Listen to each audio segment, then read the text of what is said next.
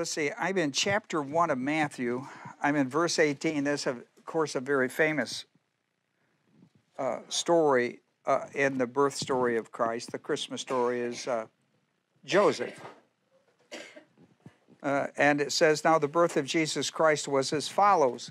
And That's very important to, our, to this passage. Notice 18 through 25 is the context.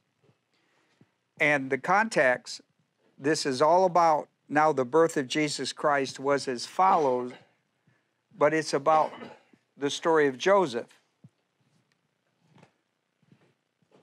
When his mother Mary had been betrothed, been betrothed to Joseph before they came together sexually, she was found to be with child by the Holy Spirit. Here's something interesting, and you'll see it on your paper, but there's no definite article with the word Holy Spirit. The Holy Spirit's a person. So when there's no definite article with him, the English put it in there to make sure that you understood that they were talking about the Holy Spirit. But when you don't put it in it and it looks like it's required, it's not the emphasis is not on the person, it's on the work. Just and so there is no definite article with this, even though they did put it in the English, the emphasis, and she was found to be with child by, meaning the source of, the work, the conceptual work of the Holy Spirit right, to be with child. Joseph, her husband, and it gives gives a description of him, which is, uh, and I want you to see four parts. Now watch. Here's here's how here's how, here's how the Lord described him. Joseph, her husband, being a righteous man, that that not only is he born again, but he's a spiritual mature believer by righteousness, not just positional, but experiential. And um, for a husband, betrothed, right? Betrothed husband. In other words, the, the legal contract is there. They still have to have the wedding, but they're legally contracted for marriage in that society. Betrothed, Joseph, her husband, legal, uh, being a righteous man, not willing to disgrace her, desired to put her away secretly. Joseph, her betrothed husband, being righteous, not wanting to disgrace her, desired to put her away privately. He's going to divorce her privately, not make a big public deal out of it.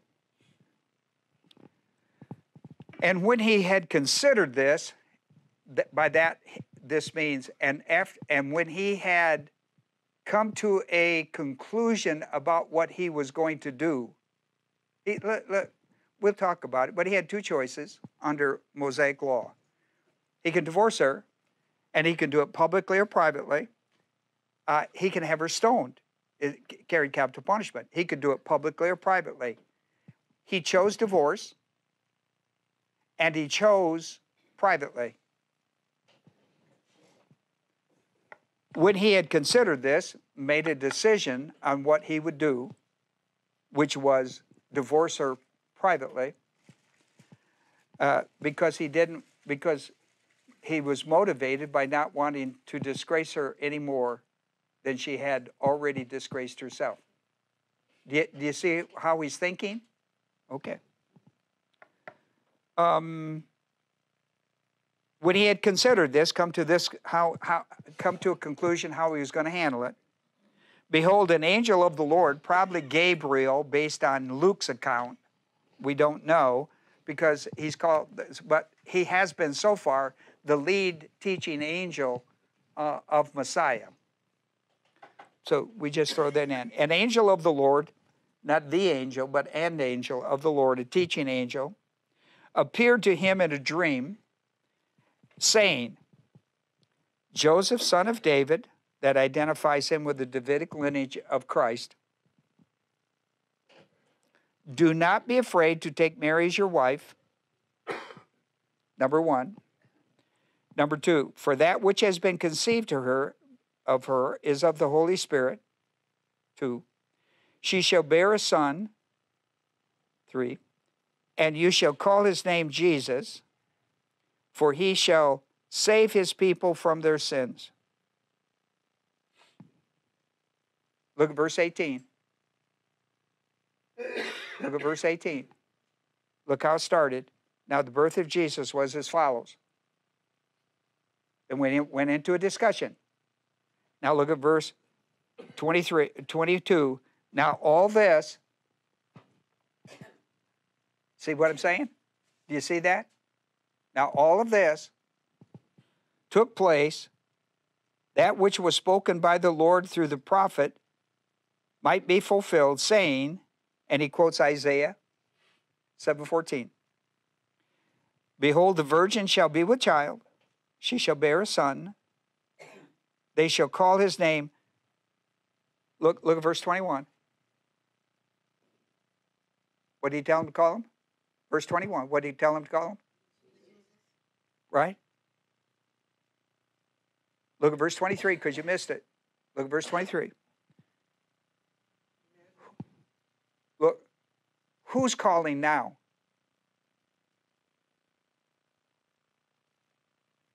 He changed. It's they. See, the people, he's talking about the people, Israel. You see what I mean? Isaiah, I, this Isaiah 714. See, we have a switch here. Yeah? In verse 21, you shall call his name Jesus, and this is why. Agreed? But he switched it. This Isaiah prophecy was to the nation of Israel. Isaiah, Isaiah 7, Isaiah 53, Isaiah 28, all messianic, three signs to Israel of the coming of judgment in regard to the first advent of Jesus Christ. We'll talk about it tonight. Behold, a quote, Behold, the virgin shall be with child and shall bear a son.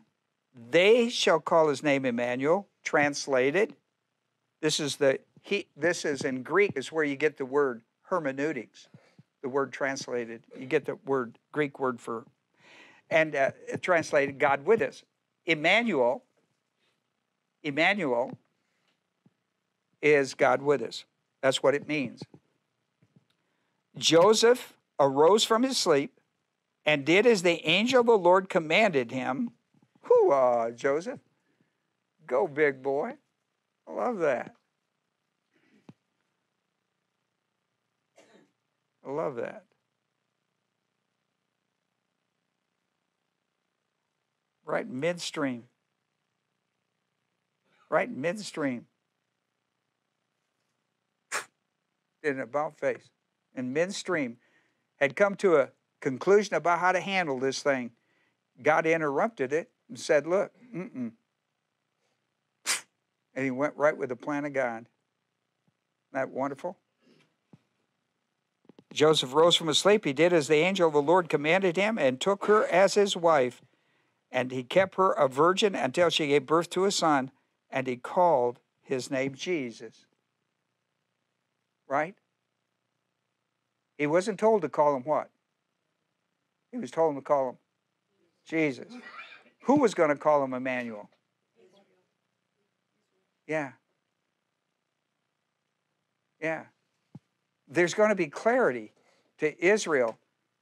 See, Emmanuel, theologically, when you do a study of Emmanuel theologically out of Isaiah, you know what you come up with in the church age? Hypostatic union undiminished deity and truth. We know that this God with us, this Son is going to be God with us, God with us in the flesh. This is going to be God in the flesh. That's hypostatic union, undiminished deity and true humanity, 100% God, 100% man, in one human being, like none other, who is Hebrews 1 3, the exact representation of God Himself. Philip said last Sunday, you remember? Show us the Father and it will be enough. He said, Philip, Phil, have I been with you so long? For three and a half years, I've shown you more of God than anybody ever in history has looked at. and you ask me, Show me the Father. If you have seen me, you have seen the Father, son. Yeah, that's that John 14 passage. Remember that? Well, let's have a word of prayer and we'll get into today's study God with us, part one. I give you moment of silence as a believer priest at Bible study to study a spiritual book for spiritual people, for spiritual living. Can't study it in carnality any more than you can exercise it in your life in carnality. Got to be filled with the Holy Spirit. You, he's indwelt. Needs to be filled. He need, you need to be under, walking in the power of the filling ministry of the Holy Spirit. How does that occur when I have sin in my life? It could be mental attitude sin, sins of the tongue, overt sins. Here's how it works 1 John 1 9. If we confess our sins, God, see, if we as Christians confess our sin, God will forgive us and cleanse us. God, He is faithful and just to forgive us our sins and to cleanse us from all unrighteousness. God is faithful and just, even when we're not.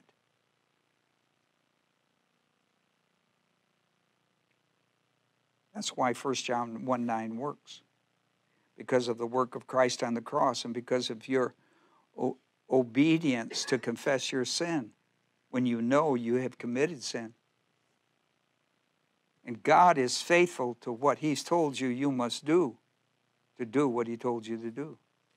He will do Himself. He will forgive you and He will cleanse you. So, our Father, we thank you tonight for these that have come our way by automobile and by internet.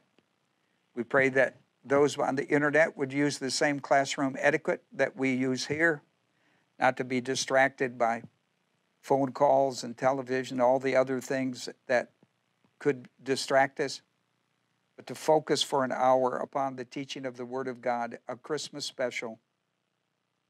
In Jesus' name, amen. Well, when I took a look at that, I, what I usually do with you, I give you a homiletical outline as I see it in order to bring you a lesson. And so I saw five things important to my lesson and my lesson will kind of follow it tonight. And I'll do more doctrinal talk tomorrow night. But here's my, in verse 18, I saw Joseph discovered something that rocked his world. Agreed?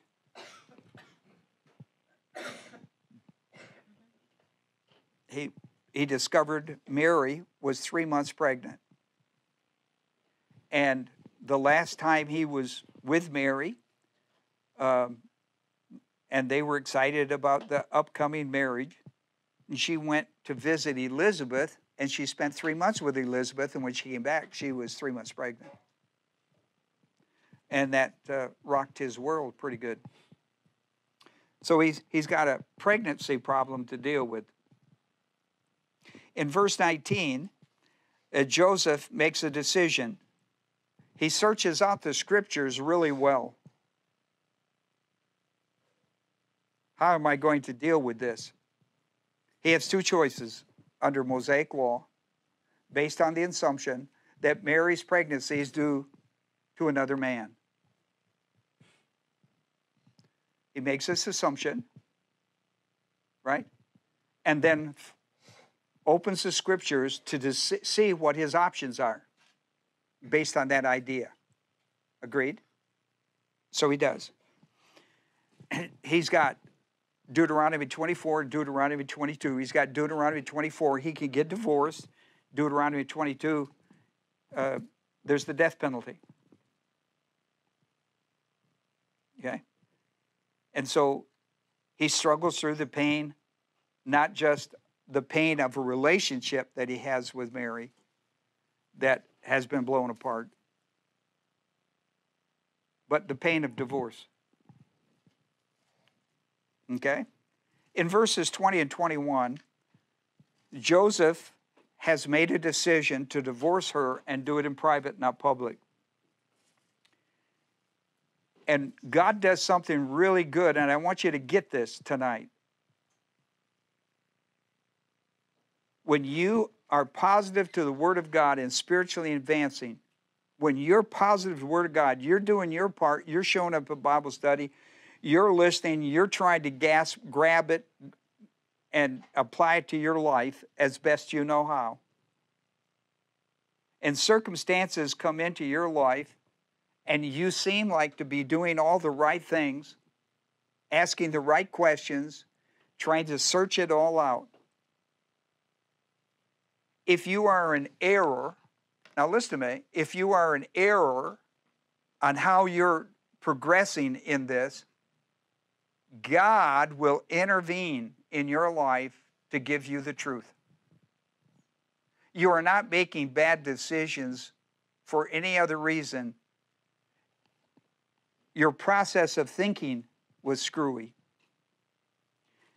Not from a human viewpoint, but from a divine viewpoint.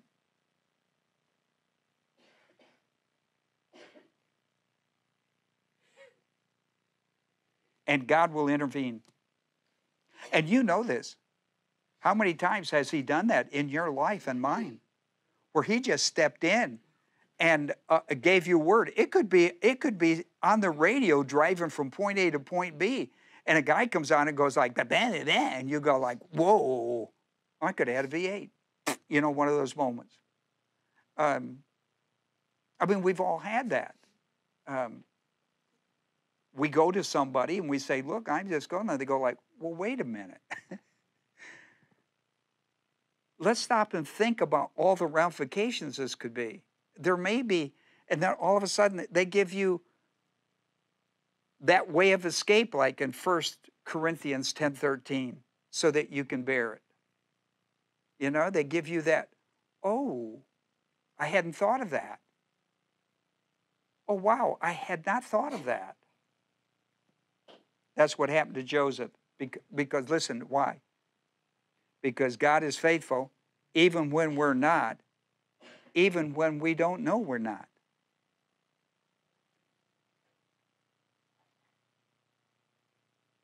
See, he's actually, look, the plan, listen, the plan of God is already in motion. Is it?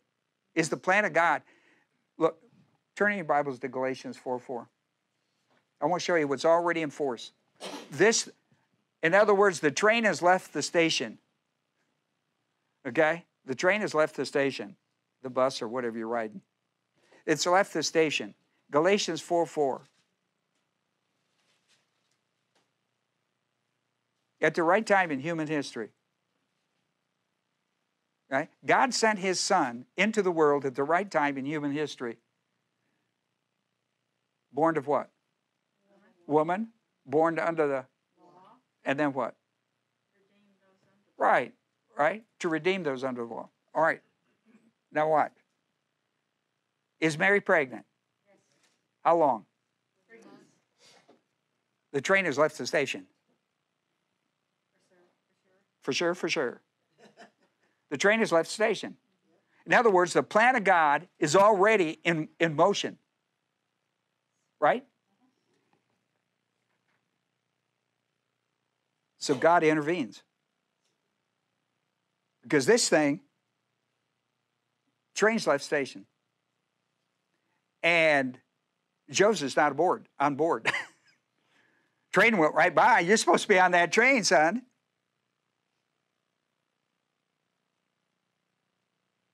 I don't think so. I think I got the next train coming. This train, no, son, you're supposed to be on this train. See, so God steps in. Now, it's still a volitional warfare, isn't it? God has to deal with human volition, but he steps in because Joseph, in his heart, wants to do the right thing. And in his heart, he thinks he is. And so God sends a teaching angel into his life to show him the way. Let me tell you, I got a taxi waiting. The train is going to stop at the next stop down here in Remlap. I know you didn't know the train stopped at Remlap, but we're going to jump on, we're going to go down, and we're going to pick the train up in Remlap. All right? And I'm going to show you why we're going to catch the train. Okay? So, God sends a teaching angel. Now, there are a lot of ways God could intervene in this, but He wants to do it volitionally. Wants to do it with the Word of God. He wants to get them back on the train. In verses 22 and 23, Joseph receives divine revelation that enlightens him. You know, it's one thing to go to church, it's one thing to be given revelation, it's another thing to be enlightened by it. Enlightened shows that you have to volitionally engage in it. Agreed? Otherwise, revel- listen, all revelation is designed to enlighten you, but it's volitional whether it does or not. I mean, if Joseph is given a real shot here, he can get back on the train. But he's got to make another choice because the first one caused you to miss the train. Why not? Um, if they've been t- taught all their lives about mm-hmm. Coming of the Messiah mm-hmm. and how he would become, mm-hmm. and all this was mm-hmm. prophesied, uh-huh. why was it all of a sudden they go, mm-hmm. they didn't believe it? Because of subjective thinking. Just wait a minute. Because of just listen, this was so emotionally charged. Her pregnancy was so emotionally charged. He got subjective. How many times have we not had the answers, but got so emotionally charged, we got subjective, and you cannot apply it in subjectivity? We've all had this experience. This is an enormous emotional, electric moment. Would you understand that? Oh, yeah. yeah. You could. You, I don't know why we're jumping on poor old Joseph at I this don't. stage of the game. He's made logical decisions. Yes, he has. Trying to do the right thing. Right. Now, when when the, uh, yes. the angel came, if he yeah. didn't go along and didn't yeah. understand. Yeah. But yeah. It Seemed like you just want to jump on and beat him up. well, well, let's not do that. Well, he didn't know. Well, he did. I'm about to show it to you. Okay, please do. Yeah, I'm about to show it to you. I'm about to. I'm about to help you. But I'm glad you're bringing that out, though, because what happens is, like you said, when you when you get so, uh, your mind gets so bogged, bogged down with worration. Oh yeah, no doubt about it. No doubt about it. No doubt about it. Sam's got a great point. He's got a great point here. I, I want you to, and to answer his point, I, I, want you to look at 1 Corinthians 10 13. Because God has a principle when He puts, puts you in a, Uh, a, a situation, He never puts you in one that you can't volitionally, doctrinally think your way out of. I want you to be able to see that because if you think that he didn't have any options at this point, we're wrong because this is a big test in his life and we all get them. And God never puts you in a test situation in your life that he hasn't he has not already prearranged already taught you how you should respond to it. All right? But sometimes it rolls down on you with such emotional charge that you get subjective about it. Have you got 1 Corinthians 10 13? What's it say? No testing, temptation, no temptation or trial has overtaken you. Are you with me? Now, overtaken is a very powerful word, isn't it? Overtaken you. What's it say? Is that a positive or negative? What's he? How does he introduce that? No. Well, well, how's he start it? No temptation. No temptation has overtaken you. Now, a lot of times we think it has. We get subjective about it, right? And we start making false assumptions that carry us into a spiral of bad decisions. But here's the principle He never puts you in a situation that He hasn't pre taught you. Okay? That, that, so there's the first part. No temptation, no testing of God right? has overtaken you. See, that's how you feel, isn't it? See, that's how you feel. Overtaking. That's not true. That's not true. But that's be the way you perceive it. Okay, now what's that part? Uh, uh, Susie, except what is common to man. It, what's common to man. Now watch this. Watch the third. That, th- see, this is. Listen, he could. You know, common to man. You could put ten people around this guy and say, "Hey, you listen. I think you did everything right." Right? Because look, it looks normal to me. I mean, how'd she get pregnant? Right? Well, I, you know, my science, you know, my biology teacher, everybody else, sitting in a room, you know, three lawyers. and what, what's the other part? Common demand. In other words, what's public opinion? How would you how would you evaluate it? Something common to per- people. Then what's third? And God is faithful. See, God is faithful. He will not let you be tempted Not let you be tempted beyond what you can bear. beyond what you could. And watch the fourth. Watch the fourth part of this now. When you are tempted, He will also provide a way out so you can stand It, it'll provide a way out. See, this is God's business. This is not Joseph's business. This is not Joseph's son. This is not Mary's. This is God's. It never, Bible doesn't say this is Mary's son. I'd like you meet Mary's son. Uh, this, this is Joseph's son. Every time they did it, it was wrong. This is the Son of God. This is a hypostatic person. This is the person that was conceived of the Holy Spirit. All right. I just want you to know that what Joseph is going through, you will go through, and it will be no different in your life than it was in his.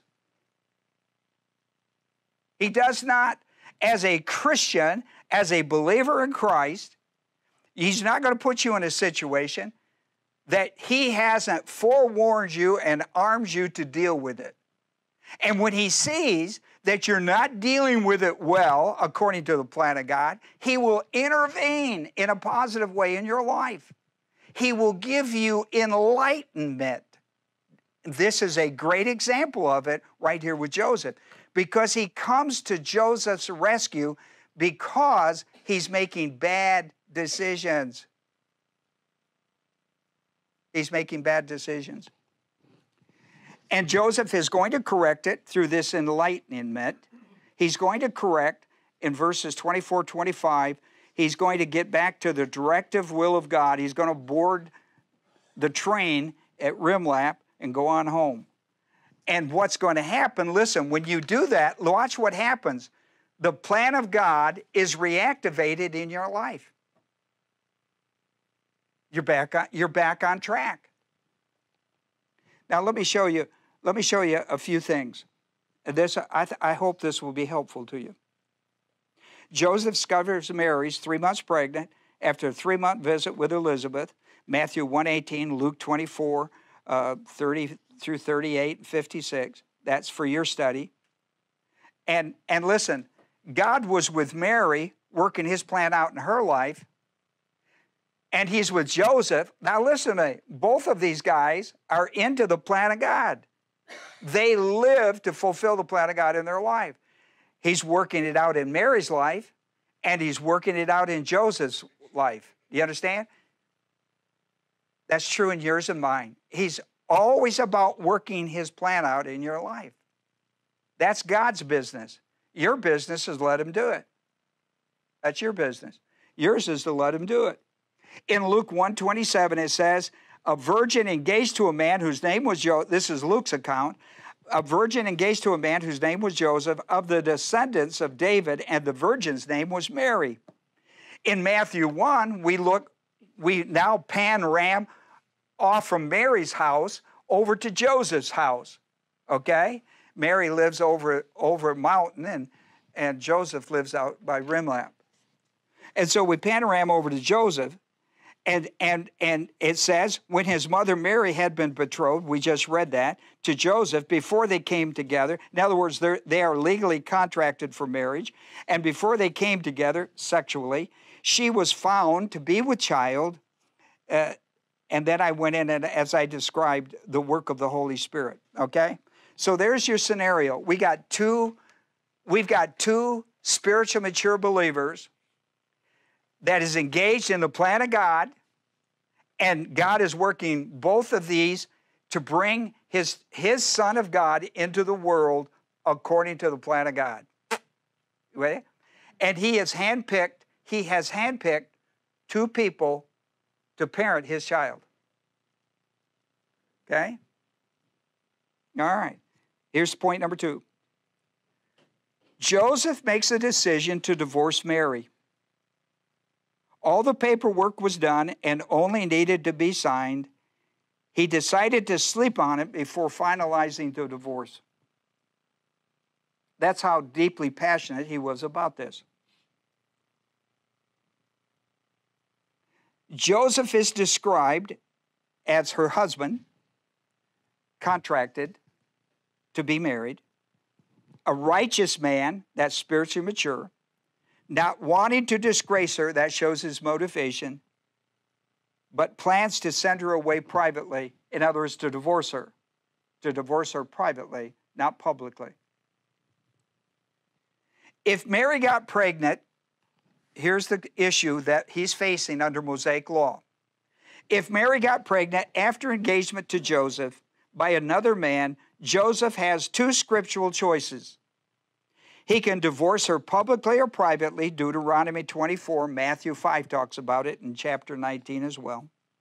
He could give her mercy, or death, public or private, and show wrath. In other words, the law. Let, let the law deal with it in Deuteronomy 22. That's pretty tough, isn't it? But he had those two choices based on the fact that she is pregnant by another man other than himself and their betrothed. Agreed? All right. Joseph chose to divorce privately, and he tells it, and his motivation is given. But we need to pause here and teach an important doctrinal lesson about making sure our decisions are accurately based on the directive will of God regarding any issue in our life. Okay? Because he thinks he's doing the right thing, and he is not. I'm about to tell you. Don't get ahead of me. Stay with me. Yeah, we we know. Well, we know we know that we know 1 Corinthians 10 13 that God would never put him in the situation he had if he hadn't pre-programmed him. That's a principle. That's a doctrinal principle that the Bible will, will show you every time you look at it. Okay? That's an important principle. Now, Joseph was so sure about Mary's situation and his choices and the right decision for him, it would have been nearly impossible to talk him out of it. Okay? He was confident that he had thought it out carefully. There was a problem as a spiritual, mature believer that many of us make, and you better pay attention. He made a false assumption. I'm going to tell you. How did he know it was a I'm, I'm, I'm going to tell you. He made a false assumption. All right? He made, I'm, I'm going to tell you, he made a false assumption. She's pregnant, but not by another man. How would he know that? Well, he had the Bible. He had a Bible. And he opened it because he assumed that she was pregnant by another man. He didn't search it well enough. Is there any scripture of a virgin giving birth in the Bible? Yes. A scripture that was as big as John 3:16 in the Old Testament. It was Isaiah 7:14. He didn't investigate all of the options scripturally. It would have been very clear had he looked. And listen, it was well knowledgeable that Christ would come this way in the world because Isaiah was about as big a prophet as you could get. Isaiah was the great prophet. It is Isaiah 7:14 that says that the Son of God will come by a virgin and we'll call him Emmanuel, meaning God with us, hypostatic man. That he would not come through a father, he would not come through a male. Emmanuel means he will not come through male. He will be God with us. It is Isaiah that writes about the crucifixion in the 53rd chapter that Paul says the gospel is that Christ died for your sins, was buried, and raised from the dead according to the scriptures. He's quoting Isaiah 53.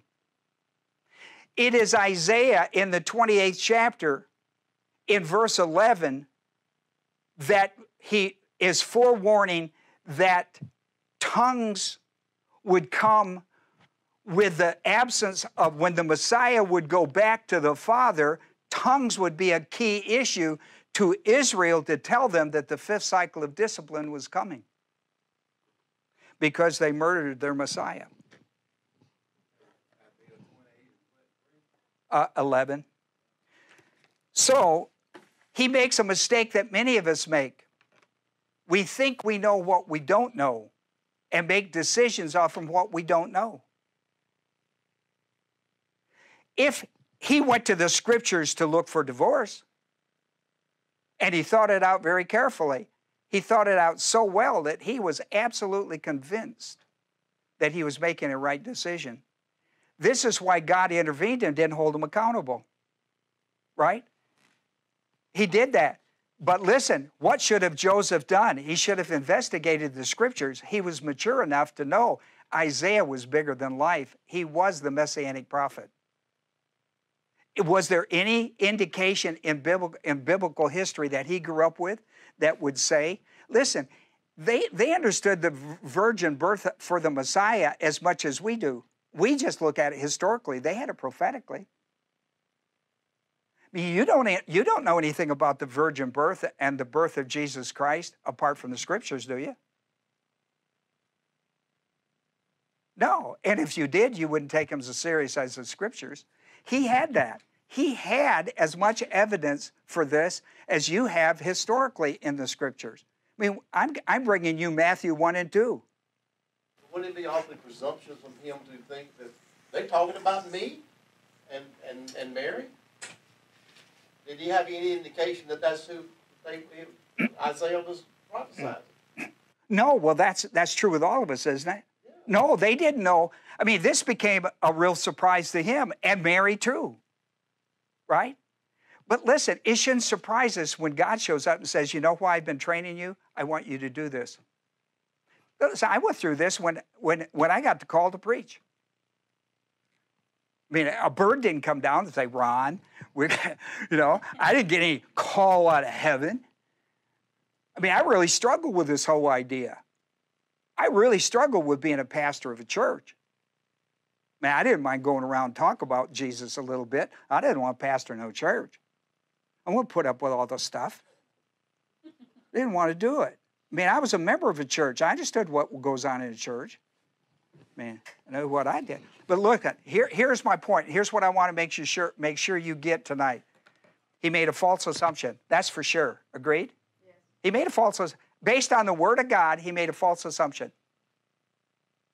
She was not pregnant by a man. She was pregnant, but not by a man. And so he's basing everything off a false assumption. Now we know that once you get, make a decision off a false assumption, it leads to a a false interpretation, a false expectation, a false application.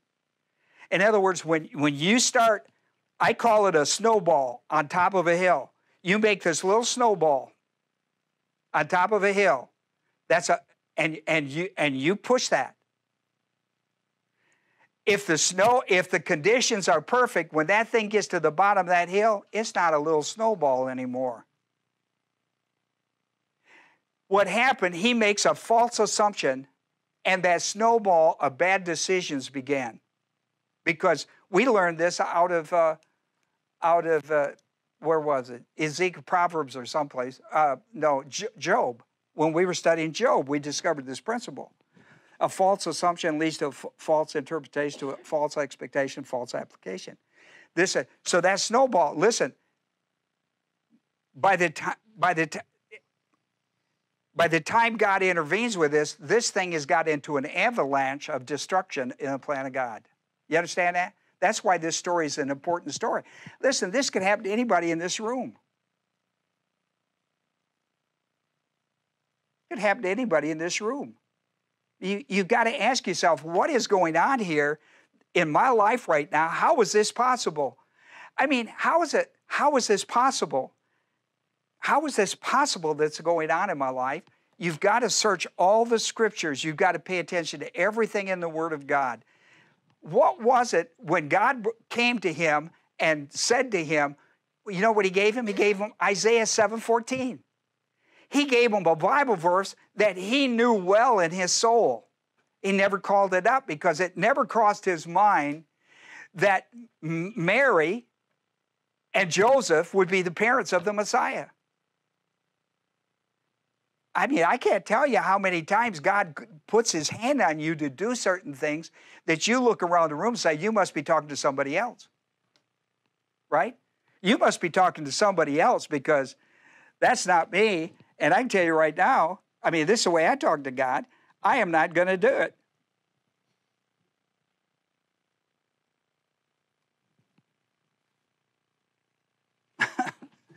and listen, I'm here doing it because I got enlightenment about what was going to happen. Look, you know, as a good parent, you want your kids to do the right thing as you understand the right thing for their life. And you're going to make. But listen, here's my point. Here's your point, my point. He makes a false assumption. Makes a false assumption. Mary was pregnant. He, he assumes Mary's pregnant by another man. That wasn't true. Every believer who walks more by sight than by faith would have completely agreed with Joseph against the plan of God. But had he had he looked at all of the options? No, he didn't. He only looked at the ones that he assumed to be true, which weren't. The, the reality in life was it was not true, right? It wasn't true. She was not pregnant by another man. That was not true. Was not true. And could he have found out it? Yeah. How do I know? Because the listen, the, the angels showed up and quoted Isaiah 7:14 right out of his Bible. He could have said, "You know what, Joseph? You could have went to the concordance and found the virgin, and you would have found it in Isaiah. Can a virgin can a virgin have a baby in Israel? Can a Judean woman, virgin, have a baby? Is there any history of it? Listen, it was lights out history. The virgin birth was as big then as it is the concept as it is to here. It was a prophetic thing there. It's a historical thing now. You don't have a problem believing the virgin. Well, you may have a problem with it, but I mean, did it happen? Yeah. Do we believe it happened? Sure. How do we know? Bible says so. Did he have that Bible? Yep. Could he have found it? Yeah. Did he look for it? No. So what do we learn? When something comes around and you look at it, maybe in the, maybe the human view of it is not good enough. Maybe you should get a divine look at it. Maybe you should look at all the options the Bible has to say about it. This, he never, listen, but listen, he's open to the truth. And when the angel shows up in the middle of his sleep, deep sleep dream, and teaches Isaiah 7:14, he knows it. He, you understand? He gives him a scripture he's already identified. When the angel goes like, Isaiah 7:14 is like it's like somebody giving you John 3:16. It's in the middle of the night. He is in deep sleep and he shows up and gives them Isaiah 7:14. You know why? Because he has in his right lobe identity with it. Do you know how I know it? Because when he got up, he did it.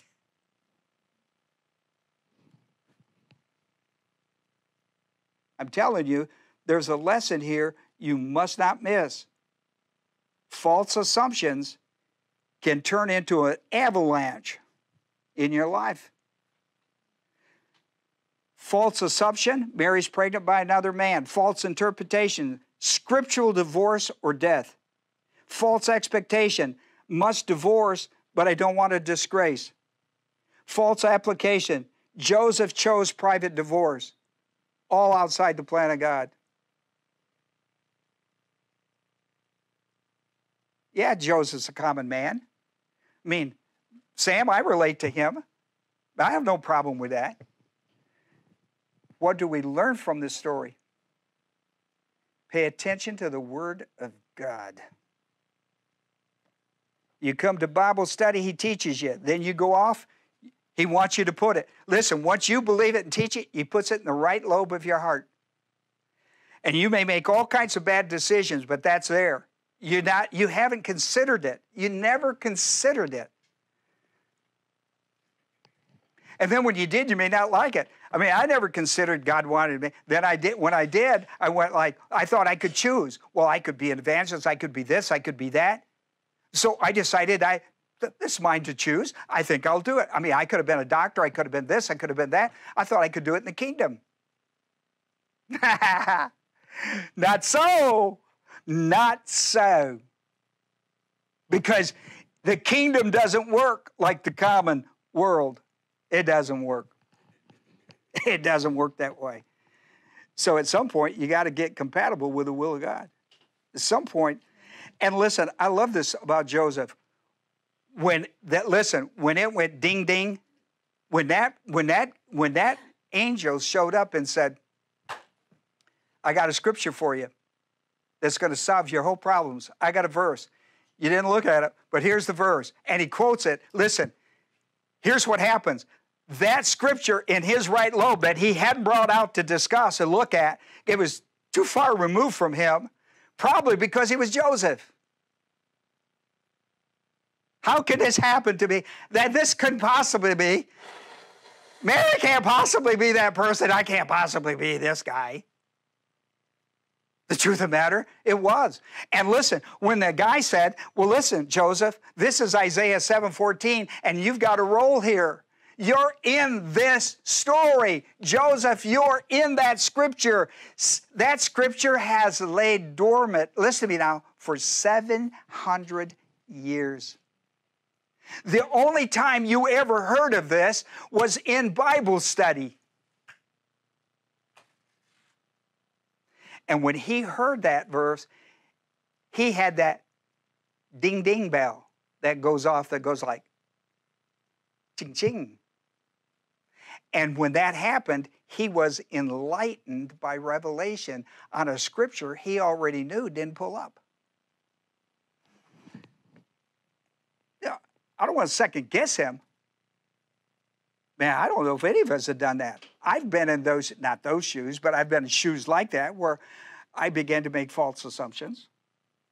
There's a real danger in this, and I hope you get this. I'm not trying to, I'm not trying to say that Joseph, we may have all done what he did, right? And listen, we probably do in our own life do these kind of things. But let me tell you the good part of this.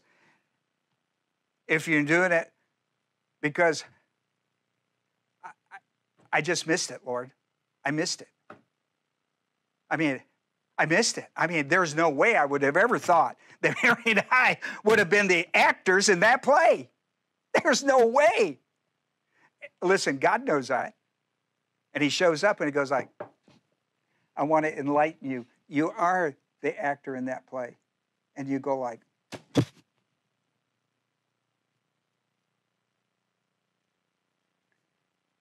people often ask me, you know, Ron, you use that snowball a lot.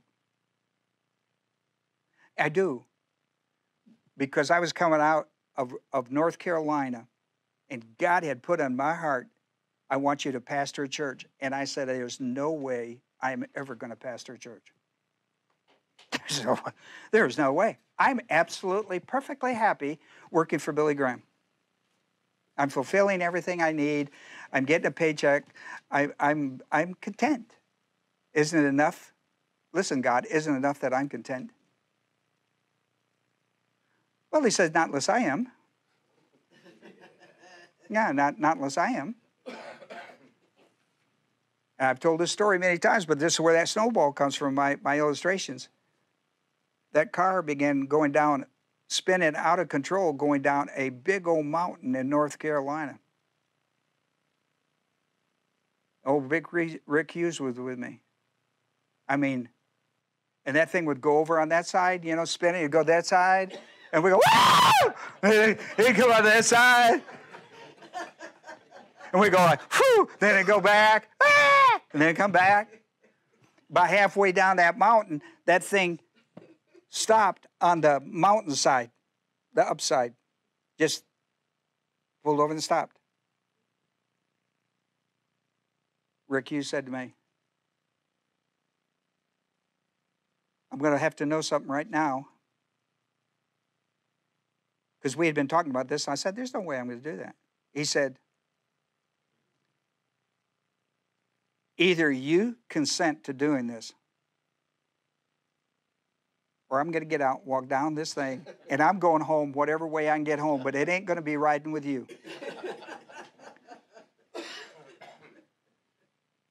And I said, Well, he said, How is it possible that you don't want to do the will of God? And you know you have the gift. We all know that. There's nobody that knows that. Why is it that you don't want to do this? I said, Well, I can tell you why. He went, I, I don't. Said, Confess your sin, tell God, and, we'll, and listen to me. I'll get out, we'll push this car out, we'll get to the bottom of the hill. this is Rick Hughes. I mean, he,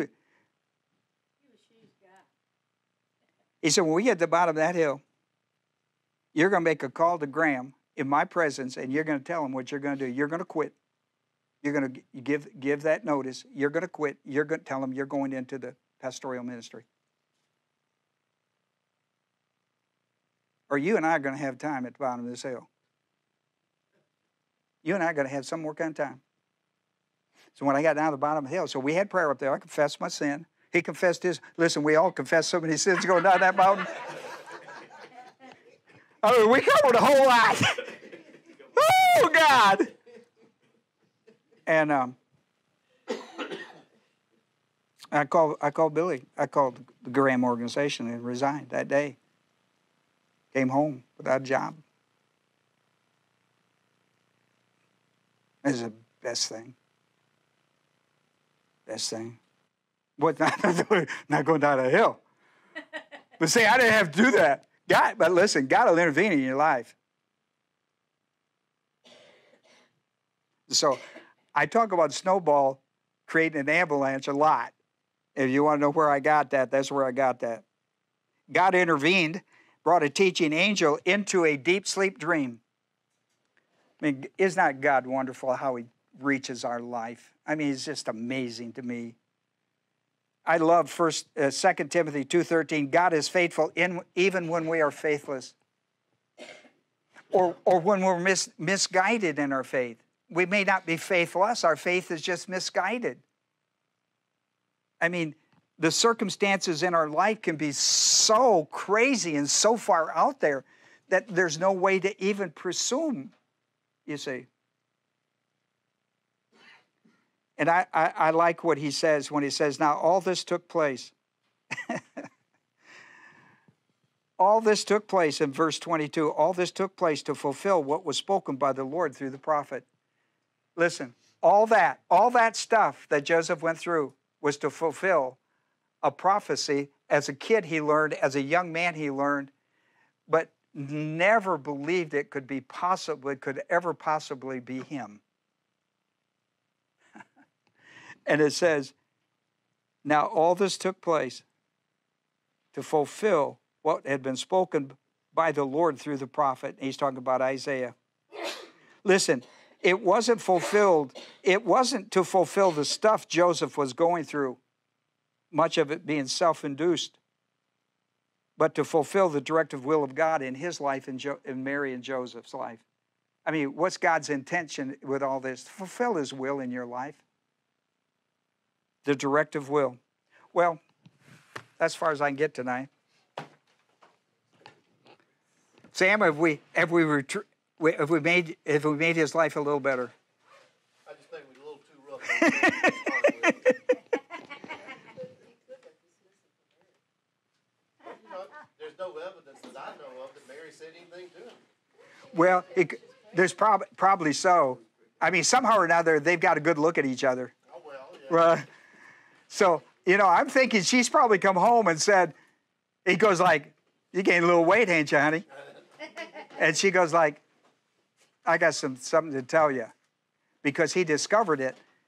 I don't know. You know, we didn't have all this stuff. We got, you know, all this electronic. I mean, she's got to have told him the story. Huh? Said so, but who knows? I'll tell you who benefited from this whole thing God. And you and me. Right? You and me. You and me. Well, I know you gotta go ahead and close out. Let Yep. close out first. let's let me close down. Father, we're thankful tonight for our study. God with us. And uh, how wonderful Joseph discovered God with him before Christ would be. Three months, three months pregnant, and all this is happening. Boy, don't you know? Whew. What is this going to be like? What in the world is this going to be like? Well,